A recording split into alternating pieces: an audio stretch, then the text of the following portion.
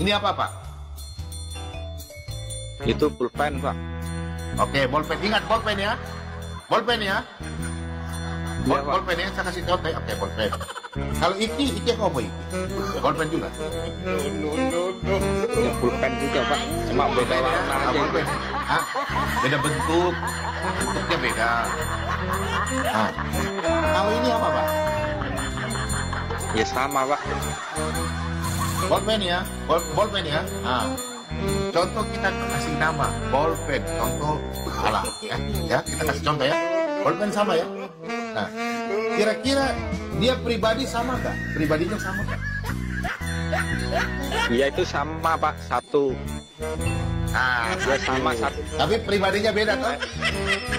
Ya, kan? beda. Nah, Tapi ya, fungsinya, fungsinya, bentar dulu. fungsinya sama toh? Fungsinya, sama, Pak. Untuk fungsinya. tulis juga, Nah, Pak. Untuk menulis. Nah, begitu pula juga. Alah. Ini bolpen, bolpen, bolpen, bolpen. Tapi dengar dulu nah, dengar, dengar. Ini, ini, ini, ini firman. Contoh ini firman. Ini Roh Kudus. Ini Allah Bapa.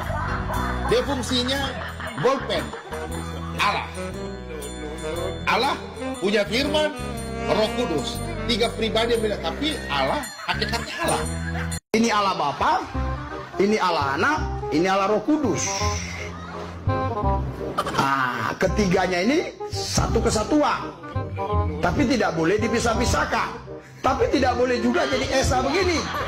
Harus Allah Bapa, Allah Anak, Allah Roh Kudus. Tapi juga tidak boleh dijadikan satu begini. Nggak boleh, dia harus Allah Bapa, Allah Anak, Allah Roh Kudus. Nempel-nempel. Assalamualaikum warahmatullahi wabarakatuh. Berjumpa lagi dengan kisah HMC ya, kisah-kisah yang menginspirasi dan menguatkan iman. Sekali lagi saya umumkan ya, channel ini akan kita pakai untuk channel podcast kita, tetapi sebelum bisa dipakai tentu saja harus kita perbaiki dulu. Karena channel ini masih terkena dismonetisasi dan belum direkomendasikan oleh YouTube. Sehingga kalaupun ya kita isi, itu jangkauannya akan sangat susah, jangkauannya sangat sedikit, lantaran YouTube tidak merekomendasikan channel ini untuk tampil di beranda-beranda teman-teman kita. Untuk itu, mohon dukungan subscribe-nya, mohon dukungan like dan share-nya teman-teman ya, agar channel ini bisa segera pulih. Dan minggu depan, kita akan mulai menggunakan studio kita.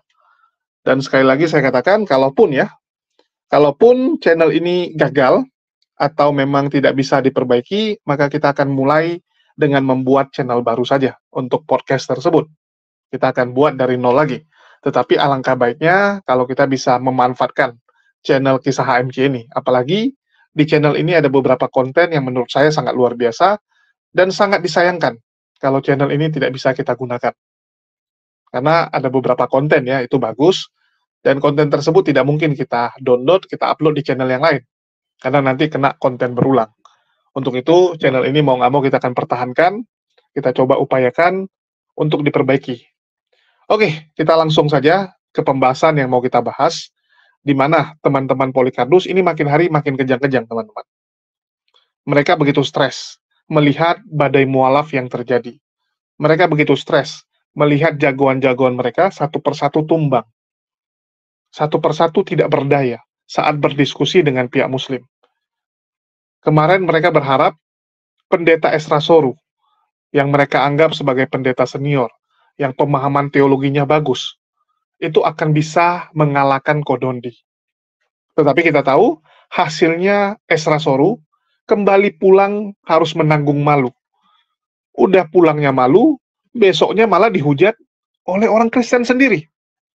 Dikatain bodoh lah, dikatain tolol lah, dikatain kok mau gitu kan. Berdiskusi dengan Donditan, apa nggak sadar gitu. Bahwa kalian hanya akan menjadi batu sandungan hanya jadi batu sandungan bagi pihak Kristen. Itu yang debat secara offline. Belum lagi kita lihat yang debat online. Sudah banyak sekali pendeta dan juga apologet-apologet sebelah yang babak belur. Bahkan mereka sedang membuat gerakan memblokir, memboikot untuk berdiskusi dengan pihak muslim. Kalian bisa lihat ya, sekarang kayak Bang Zuma, Kores, itu nggak dapat lawan debat lagi sudah tidak ada lagi pihak Polikardus yang mau berdebat kecuali yang awam-awam, yang lucu-lucu lah. ya kayak si Rama, ya Bu Darni, ya itu kan yang lucu-lucu. Itu masih mau naik. Begitu juga dengan Kristen yang awam-awam yang mungkin baru lihat TikTok, baru tahu tentang diskusi, karena punya semangat untuk membela agamanya, tapi ilmu nggak ada, ya mereka naik. Dan berkat mereka naik, mereka belajar bahwa ternyata apa yang diajarkan di gereja oleh para pendeta itu cuman luarnya saja, itu cuman covernya saja. Mereka nggak tahu sejarah sesungguhnya. Begitu diajarkan, pelan-pelan mereka ngerti, dan para penonton pun banyak belajar, sehingga banyak yang mualaf. Ini membuat para Polikardus semakin berang ya, semakin ngamuk gitu. Mereka sudah mencoba untuk mengcover, untuk menutupi kebenaran ini. Sudah mencoba supaya orang Kristen jangan lagi mendengar Bang Suma, jangan mendengar Kodondi, dan sebagainya. Karena kalau makin banyak didengar, nanti mereka makin tahu, mereka makin pingin belajar, mencari sebenarnya agama Kristen itu seperti apa. Dan menurut mereka ini berbahaya, sangat berbahaya ya. Jadi mereka lebih memilih ya udahlah di kandang sendiri saja, jaga kandang. Tetapi yang konyolnya, kandang mereka pun diserbu. Kandang mereka pun diserbu, termasuk kandangnya Mikana. Mikana ini kan dianggap sebagai salah satu apologet terbaik lah. Apologet terbaik bagi Polikardus. Kalau sama kita ya sampah. Tapi bagi mereka, Mikana itu seseorang yang luar biasa menurut mereka. Seseorang yang berhasil membuat banyak orang jadi oneness. Bukan dari Islam ke Kristen ya, tapi dari Kristen Trinitas pindah ke oneness. Itu keberhasilan dari Mikana ini. Dan kemarin Uniriva mendatangi roomnya Mikana dan di room tersebut sudah ada tiga orang Kristen. Artinya Uniriva sendiri Muslim, tiganya Kristen, dan mereka semua babak belur. Mereka semua babak belur, teman-teman. Dan yang ngomong mereka babak belur itu bukan saya. Tapi dari pihak Kristen sendiri. Kalau kita bilang pihak Muslim yang menang, mereka akan bilang, ya iyalah, kalian akan membela sesama kalian. Kan begitu. Jadi itu tidak objektif. Tidak akan objektif kan begitu. Ya sudah, kita lihat penilaian dari pihak luar. Ternyata dari pihak Kristen sendiri juga mengakui Mikana babak belur. Mikana babak belur. Bahkan yang ngomong ini bukan dari Trinitas loh. Kalau yang Trinitas mungkin kalian akan alasan, oh ya iyalah, Mikana Wanes. Orang Trinitas pasti akan jelek-jelekan dia. Orang Trinitas akan bilang dia babak belur. Tapi ini yang ngomong orang Wanes sendiri, teman-teman. Bililin orang Wanes, Sirut orang Wanes. Bayangkan sesama Wanes udah ngomong seperti ini. Saya nggak tahu ya, ini besok akan perpecahan seperti apa lagi. Unitarian berantem sama Wanes, berantem sama Trinitas ya.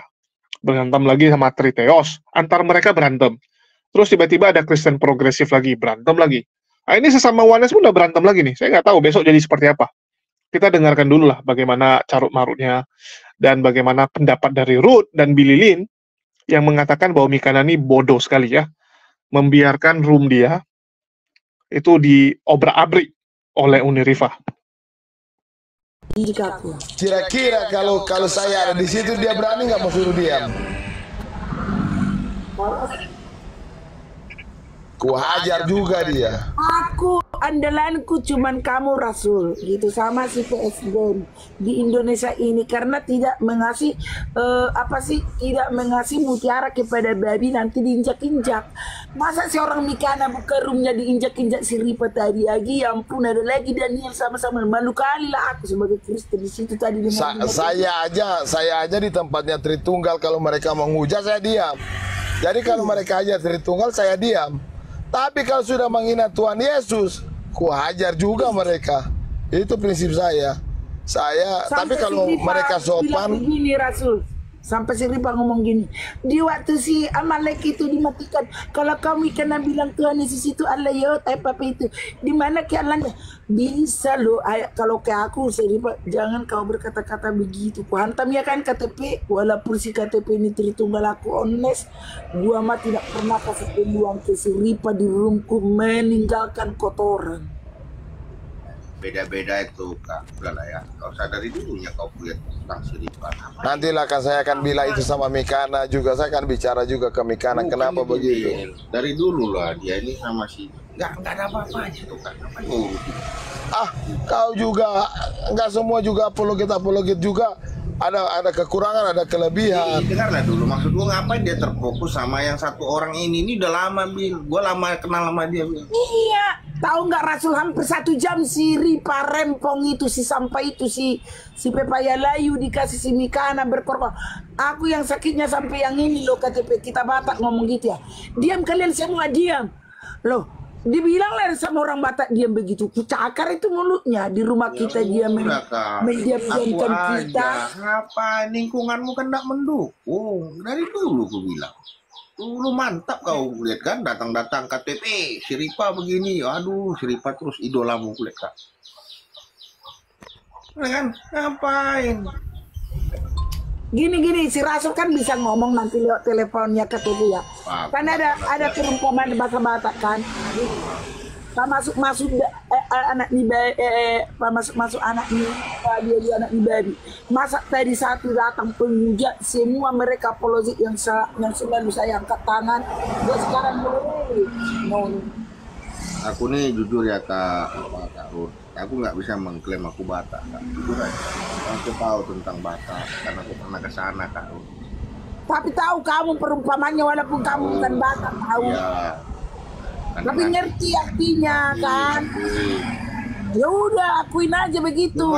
Maksudnya tahu jangan jadi jadi lepas penggemarnya si Mikana gara-gara tadi si penghujat itu dikasih berjam-jam di roomnya. Goblok tidak itu Mikana. Goblok bagi saya sangat goblok. Memang dia tempatnya tuh. diberakin orang. Sudah sudah enggak jangan jangan digoblok-goblokkan kak, kak. Nanti saya akan bicara ke Mikana, ke ada semua di belakang mereka. Kita tetap harus mendukung apologet. Janganlah begitu. Gini Nanti saya akan bicara Singa- mereka. singa itu, nah, kapan aku dapat singa? Ah, kau juga kayak kan dulu diam dulu Bil. Ah, dulu kau kan kayak- KTP maukah aku masak makanan KTP ya tidak lah. ah, kau itu kayak orang miskin. Eh, Aku memang janji Rasul sama si KTP dulu kan. Iya. Ketemu kita Eh tunggu dulu. jangan ikut-ikut Bil, diam dulu. Karut, Karut nggak tahu siapa KTVP. Bil, Tertunggal. Iya. Makanya dia dulu. Aku mau cerita. kamu jangan ikut-ikut dulu Bil. Ya kak. Ah, sebenarnya dia salah satu donatur Tritunggal sampai Erben begitu dia yang biayai. Ais. Iya.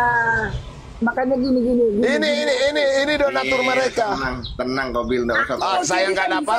Saya saya saya buka kartumu lah. Saya nggak dapat. Kalau saya dapat baru.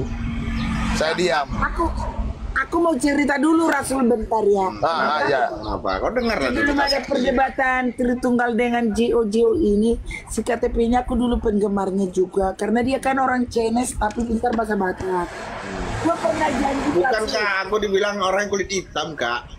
Kalau orang yang belum tahu aku kan dibilang kulit hitam. Ngaku-ngaku ortodo aku kak dibilang kak. Gak apa-apa lanjut lah kak. Ayo ntar aku lanjutkan dulu cerita Ya aku lanjut lah, lanjut lah, lanjut. Nah.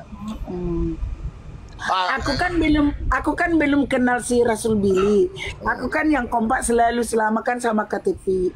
Ya, Tapi ya. se- setelah aku udah aku diterangkan si eh, Rasul Billy Konyol ya teman-teman. Jadi ini pengakuan dari pihak Kristen sendiri. Saya nggak tahu ya, Ruth ini kenapa gitu. Bukannya membela temannya, padahal sama-sama oneness loh. Dan kita bisa melihat makin ke sini memang perpecahan itu makin ngeri. Kalau sebelumnya kan oneness berantem sama Trinitas. Terus ada Kristen progresif sama Protestan. Terus yang Katolik juga sudah mulai resah melihat orang-orang seperti Pak Bom Bom dan sebagainya. Kita lihat channel Damai Kasih. Itu channelnya Katolik, mereka juga udah geram dengan Protestan ini ya dengan statement-statement dari pendebat Protestan yang entah apa-apa saja memfitnah Katolik. Terus ada lagi perpecahan sesama Trinitas. Gara-gara ada yang pro dengan pendeta Budi Asali dan Esra Soru, ada yang tidak suka. Contohnya ya yang kemarin, Wak Donat berantem dengan si siapa tuh yang ada di grupnya tanpa ragi. Haruka ya, dengan nickname Haruka. Nah, berantem lagi. Sama-sama Trinitas sama-sama Trinitas berantem. Nah, ini sama-sama Oneness berantem lagi. Besok saya nggak tahu ya, gimana lagi berantemnya gitu. Nah, mungkin besok Ruth sama si Billy Lin yang akan berantem. Jadi antar mereka tuh akan selalu saling cakar mencakar. Kenapa seperti itu? Karena memang tujuannya adalah dunia. Tujuannya ke popularitas dan juga uang, domba-domba. saling berebut mereka. Jadi pengen menonjol, pengen kelihatan hebat, pengen yang diagungkan oleh Laskar Polikardus, jadi sesama mereka akan saling mencakar. Ini memang akan terus terjadi, teman-teman. Namanya ajaran yang nggak ada aturan. Menghalalkan segala cara. Ya seperti ini. Jadi nanti Irun akan bilang, saya mengasihi Mikana, itulah saya kritik dia. Itulah saya nasihati dia gitu kan. Itulah kenapa saya kata-katain dia. Karena berdasarkan kasih. Saya mengasihi Mikana. Mereka akan bilang gitu. Terus nanti Mikana mungkin akan balas. Mikana akan balas dengan memaki dia. Terus dia bilang, saya kasih dia, kasih maki. Makian itu kan termasuk kasih juga, kasih maki. Jadi antar mereka akan terus seperti ini, teman-teman. Beda dengan Islam, kita tuh mengedepankan akhlak, adab. Di Islam kan paling utama itu. Akhlak kita tuh bagaimana? Bahkan kayak di Islam ya, meninggikan suara saja saat ngobrol atau bicara dengan orang tua, itu nggak boleh. Itu dosa udah. Bayangkan. Meninggikan suara loh. Apalagi maki-makian.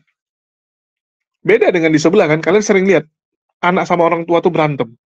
Berantemnya tuh wah gila teman-teman. Saling menuntut ke pengadilan juga banyak. Terus dibilang, loh Islam juga ada yang begitu. Ada. Tapi itu orang-orang yang tidak menjalankan syariat Islam. Orang-orang yang hanya KTP-nya doang Islam. Hanya KTP-nya. Karena di agama diajarkan. Kalau kalian bagaimana? Di kalian kan memang nggak diajarkan. Jadi yang dilakukan itu ya sah di mata agama kalian. Kalau kami enggak, orang yang berantem sama orang tuanya, apalagi untuk hal-hal yang nggak jelas, untuk hal-hal yang sepele sebenarnya, meninggikan suara, marah-marahin orang tua, tidak berbakti, itu dosa. Di kalian kan enggak, nggak dianggap dosa. Mau gimana coba? Oh itu dosa bang, siapa bilang nggak dosa? Mana buktinya? Mana dalilnya? Dalilnya adalah kasihi gitu kan. Waduh, kalau kasih, kan kasih makin juga kasih. Nggak akan nyambung. Nggak akan nyambung teman-teman. Jadi itulah yang terjadi antara mereka yang terus saling cakar-mencakar ya. Dan kalau kita lihatnya ya ketawa saja. Kita orang luar ya lihatnya apa? Hiburan. Lumayan ada hiburan kan? Antar mereka seperti ini. Nah, itulah yang terjadi teman-teman. Dan semoga ini bisa jadi hiburan di hari Minggu yang baik. Ya, betapa carut marutnya mereka dan semoga teman-teman yang melihat bisa mengambil pelajaran lah. Kalau yang masih terhipnotis, ya masih menganggap bahwa wah agama saya yang benar gitu, coba review ulang. Saya cuma meminta kalian membuka mata, mereview ulang saja, mencari tahu. Kira-kira benar nggak ini? Mungkin itu aja yang bisa saya sampaikan. Makasih buat teman-teman semua yang udah nyimak dan mendukung channel ini. Makasih buat semuanya. Di akhir kata saya ucapkan, wassalamualaikum warahmatullahi wabarakatuh. Sampai jumpa di video-video kita berikutnya.